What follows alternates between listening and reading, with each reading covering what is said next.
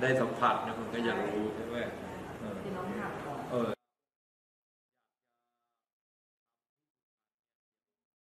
ก็ในกรณีที่เราดูข่าวนะครับเรื่องคุณพิธานะครับที่ทางรัฐภาเนาะโหวตไม่ให้เสนอซ้ำแล้วก็อะไรหลาย ๆ เรื่องเนี่ยผมในฐานะนักการเมืองท้องถิ่นนะครับ ก็มีความคิดเห็นเสีย เสียใจเสียดายนะครับว่าบางทีประชาชนเราเราให้ประชาชนเลือกมาแล้วเนี่ยแล้วไม่ได้เป็นนายกเนี่ยโอ้โหบางทีมัน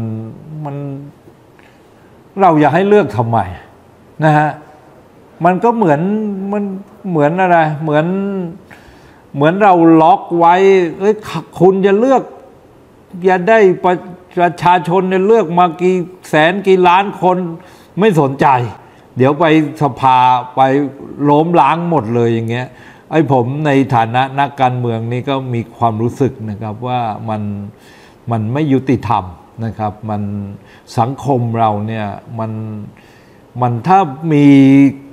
เหตุการณ์ประเภทอย่างนี้ขึ้นมาเนี่ยผมว่าบ้านเมืองเราไม่ได้พัฒนามีแต่ถอยหลังครับ ก็ในฐานะนักการเมืองคนหนึ่งนะครับ ก็ เสียใจนะครับเสียใจนะครับ แล้วก็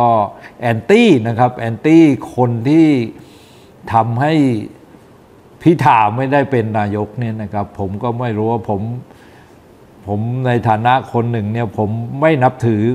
ความคิดของคนเหล่านี้ครับผมครับ แล้วใน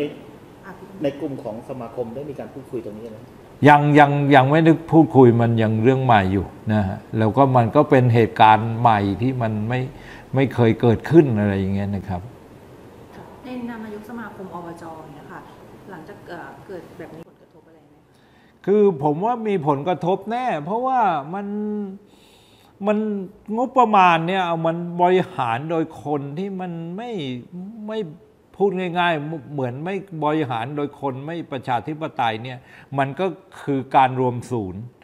เราต้องการกระจายอำนาจนะครับ ถ้ากระจายอำนาจเนี่ยประเทศชาติมันจะเจริญ ถ้ารวมศูนย์เนี่ยประเทศชาติมันก็จะยากจนอย่างนี้นะครับ ยังผมไปเมื่อเมื่อสัปดาห์ที่แล้วผมไปไปเขมรนะครับไปเขมรนะครับ เมื่อ 30 ปีที่แล้วผมไปฝั่งเกาะกงนะครับ ตึกแทบยังไม่มีเลยนะครับ แต่ไปเมื่อสัปดาห์ที่แล้วเนี่ยฝั่งเขมรฝั่งกาะกงเนี่ยเจริญกับประเทศไทยนะ เพราะฉะนั้นเราอย่ามาโอ้โหมาคิดว่าประเทศไทยเราจเจริญเจริญนะผมว่าถ้าเรายังคิดอย่างนี้หรือเป็นมีนักการเมืองอย่างนี้นะครับ ผมว่าอีกไม่ถึง10ปีหรอกเขมรแซงเราแน่นอนครับจะฝากอะไรถึงในเรื่องของ ตั้งรัฐบาลหรือเรื่องการเมืองในตอนนี้ไหมคะผมก็ถ้าเป็นความคิดส่วนตัวนะครับ ผมว่าผมไม่เห็นด้วยกับกับสิ่งที่มันเกิดขึ้นทุกวันนี้นะครับ ผมเชื่อว่านักการเมืองที่โหวตให้คุณพิธาไม่ได้เป็นนายกในวันนี้นะครับ ผมเชื่อว่าเขาเป็นคนทรยศต่อประชาชนครับ